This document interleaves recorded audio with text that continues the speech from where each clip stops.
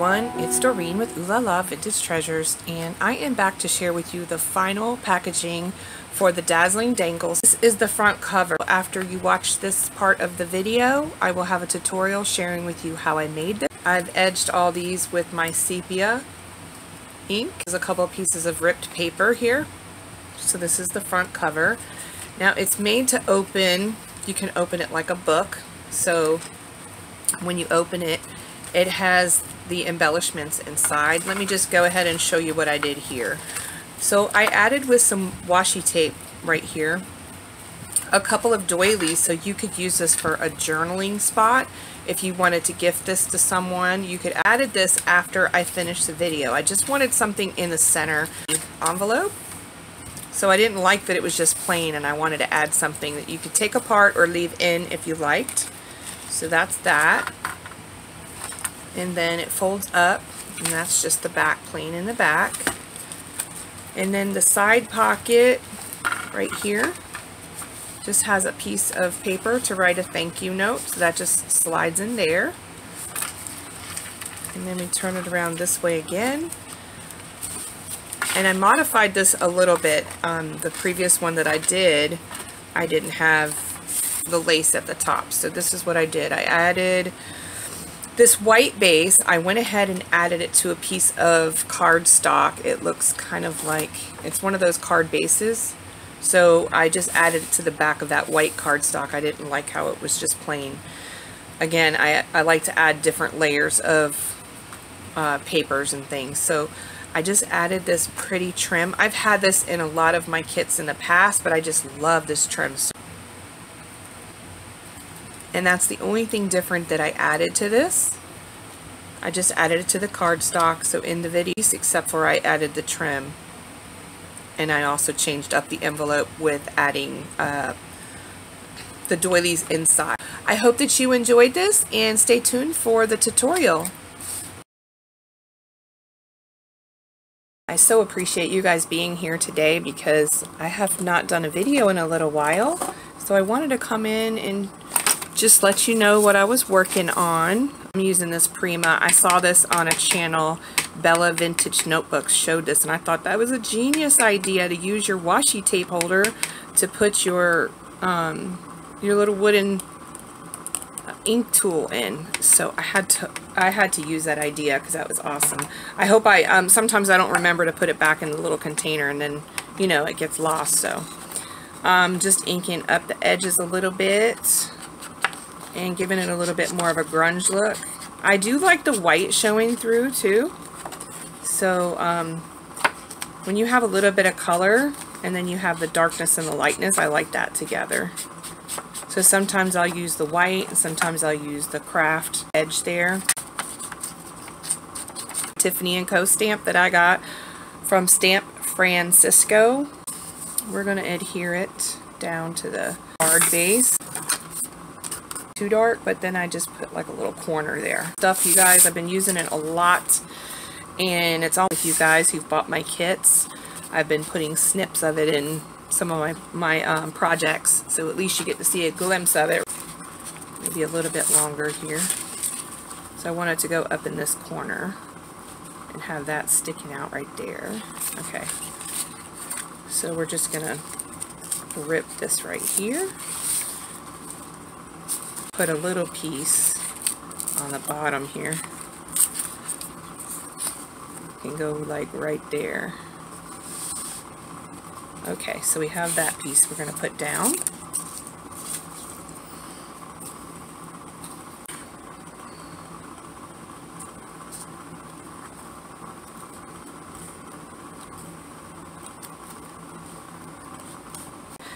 I decided because I'm gluing all these items that I would wait to get my nails done because no point in getting a bunch of junk all over them. I just had this in my Pink Sugar Memories kit and this stuff has so much texture on it. I absolutely love this. So what I'm using this for is it's going to house my, my sparkle pieces to be able to hang them down. That there. And then, let's see what else I want to do. These, let me put this over here. I have these appliques that um, I'm going to use. These are those types of appliques when you cut on your applique, your wedding appliques and you have leftover. Where's my little, these little things. I've had these in kits before too.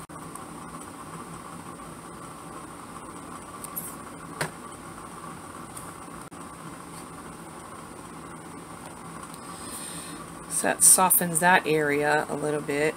So when the sparkle pieces kind of hang down, they'll be hanging down through here and then they'll fall into this little spot right here. I cut this off of a vintage curtain and I ruffled it from the stitching. So I basically just cut the ruffle really, really short so that I could have this as a trim. And then I can use the curtain for other things too as well. So we have this one here. So you have to secure it with glue pretty good here. And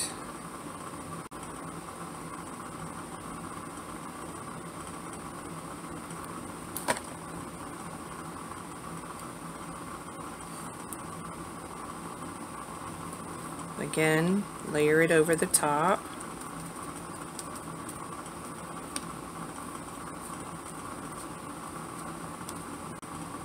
So it's going to go up in this corner here.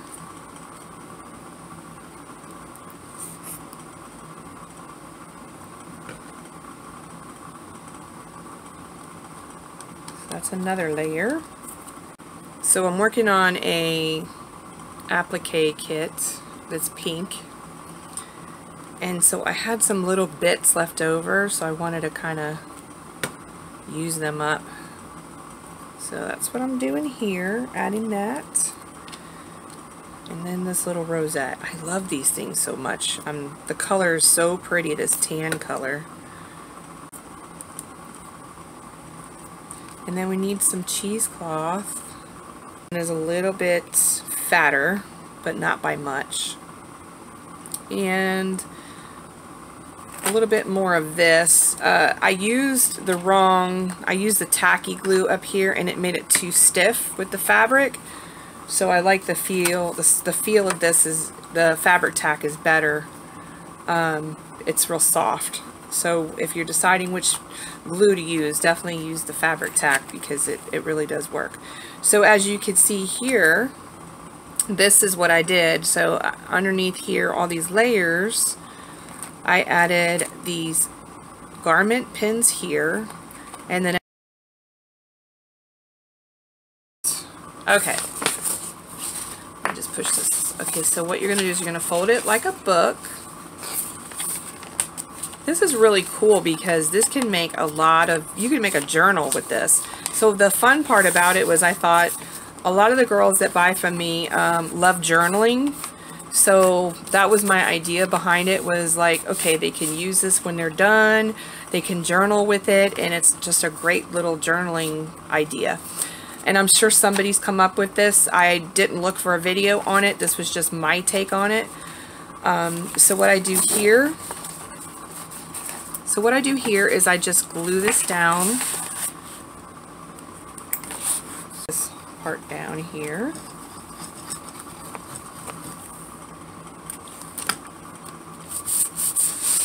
So you glued this part down here, right? So this is the top right here. So you see the seam right there? I don't know if you can see the seam, but there's a seam right there. Well, actually, essentially, this is the bottom. This is the bottom part, but we're going to use it for our top, okay? So what I like to do is when I cut it, I like to cut it um, like kind of like a, well, I just kind of weave it in and out. And it doesn't have to be perfect because you're not really going to see it once you ink it up. Of course, it opens up the, um, the envelope. See? So it opens it up. And then we will ink it up right there have this tool here. And then just go ahead and let's see. So that's the top. So this is the top, right? And then if you turn it this way, you're looking at it sideways this way. This is the flap that we just glued down.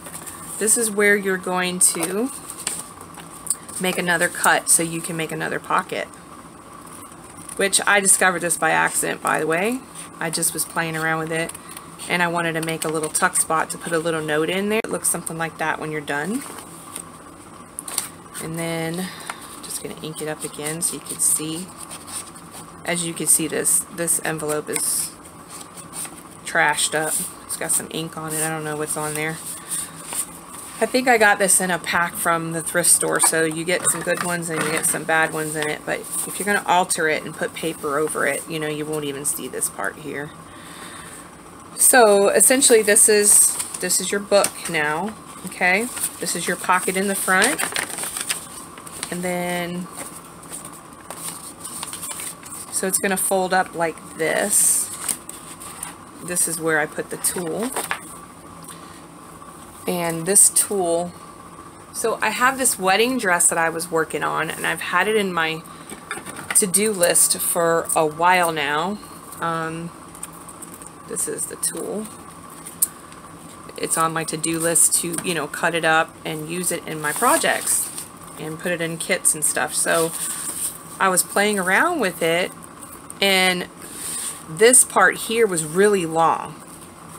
And then there was a piece over here. So I took it and I cut it really short and I wanted to have the stitching show. So I made my own little wobbly, looks like a hand-stitched piece of tulle. I thought it was really cool. And then I inked it up with my ink dauber, this thing. I inked it up with this and kind of pounced on it with my ink. The VersaFine, this one.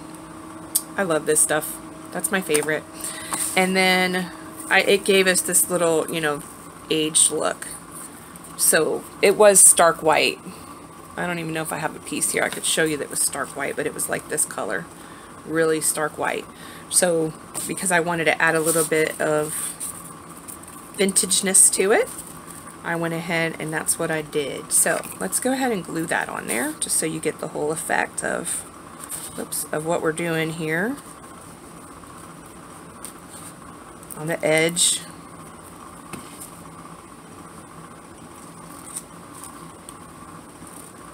And then, move this out of the way before I glue on it. Then we're just going to add this.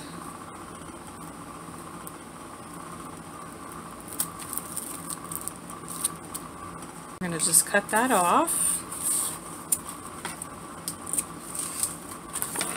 So then you have this really cute look on the edge of your pocket or your book or whatever you want to call it. Um, and this little edge here is what holds your sparkle piece over the top. So it kind of closes it a little bit. That was my idea to have it on the edge so it would close it. So that's what I did here. So that's, I think I have a sample here. So in the last kit that I used,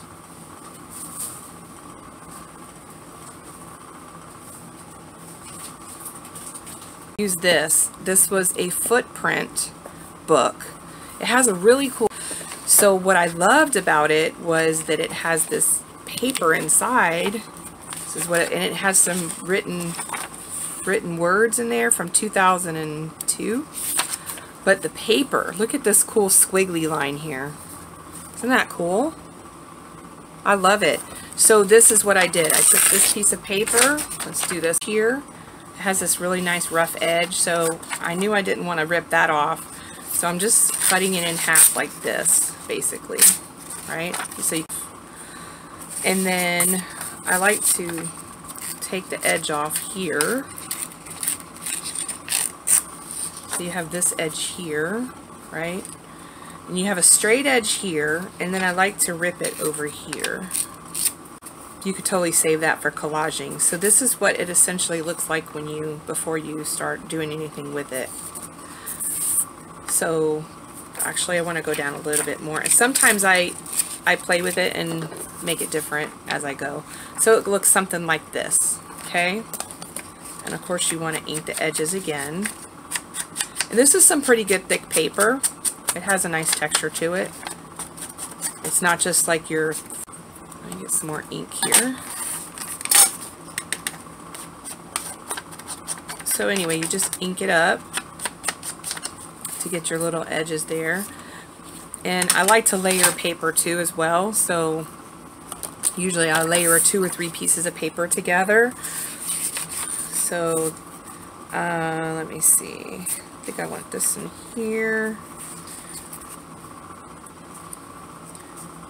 So I'm going to put this on the bottom. Oh, this is the other thing I like to do. I like to have these two together. And then I like to... Um, and then I'm going to rip this part too. So let me do that before I waste my time. So I'm just going to rip... Sorry about that. I keep hitting the camera, you guys. And then you want definition on it, so... I'm just going to add the ink again. And I'm not doing it too heavy. I'm just kind of doing it light just to add some color there. So see how it looks now? It looks all ripped and old and really cool looking. So that's what I'm going to glue together now.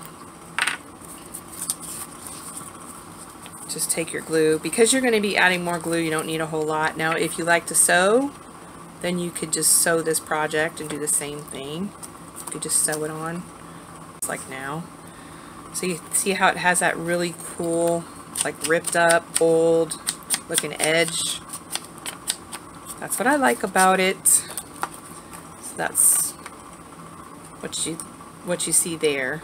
I have an image already done. Let me see if I want to use this one or the other one I took out.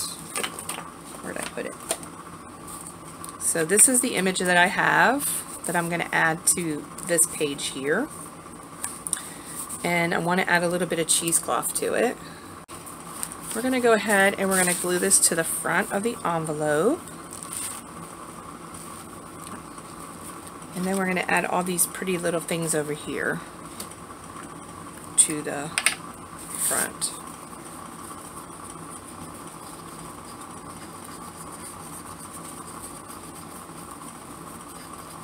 I hope that I like to put the cheesecloth like right around underneath here so it kind of hangs out a little. Put a little bit there. Alright, let's do that.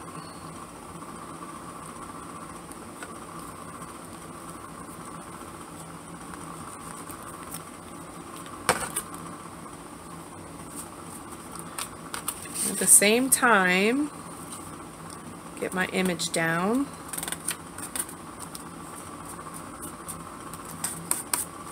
So you just have a, we were gluing this and my camera cut off.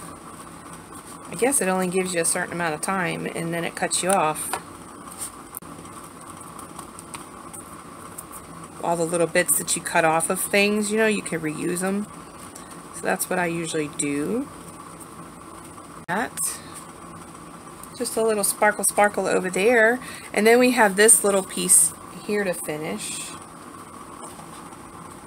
I got my little polka dot trim again. Now I'm I don't know why but I just want to cover over the stamp. I don't know why I do that but I guess because I was trying for no color um, on this. And so if you don't want color just cover over it. Like that by the time I get done, you won't even see the color. Right? Let's put some cheesecloth in there.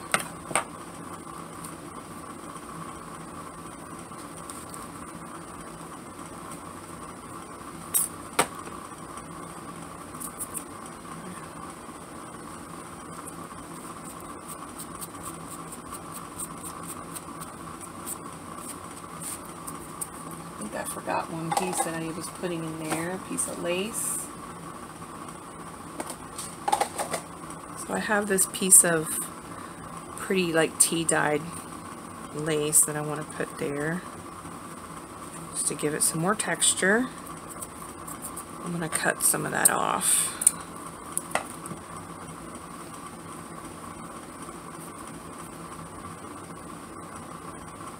I love Fabri-Tac, but it gets all over my fingers no matter what I do. I can't, I'm not a clean crafter when it comes to keeping all this stuff off my fingers. So then I have this little bit here. That's just going to go in the corner here. And then this little bit, piece of um, trim off of something. Some trim I had in a past kit. So that's what it looks like when it's um, cut up.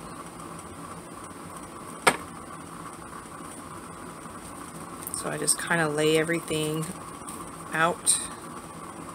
I usually try to, when I make these in multiples, I usually have them like all done in an assembly line, but for this tutorial I couldn't do that to you guys. That would be way too much time on your hands there, huh? And then, let's see, I want...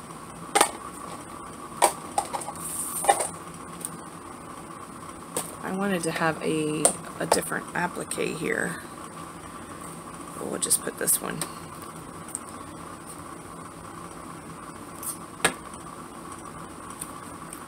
So get out your um, envelopes, the ones that you have that fold up like this, and slit you the top right there. I give you some ideas on what Ooh La La is all about, and you can take some of these ideas and make them yourself. So that is what it looks like. And then, so when they open up the package, they have a little folder inside here for journaling. They could add paper or whatever they want to the inside, but this was just basically so that it could be, you know, used. Some extras that I had left over. I just wanted to show you. I just keep them here for extras. I will be coming up with a new packaging idea for my Pearlesque Sparkle Kit that's coming soon to Ooh La La. And I will have another packaging video to share with you on what I made. So this is just all of the different ephemera with the same beautiful embellishments that I added to this.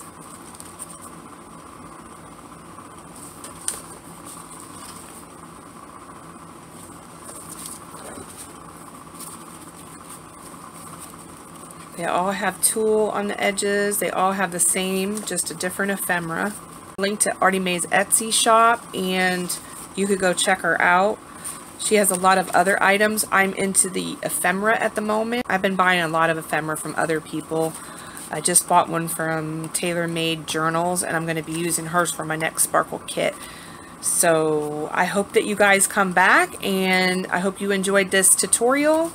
Craft with me and stay tuned because I'll be back with some more videos you guys. Alright, have a good night. Bye.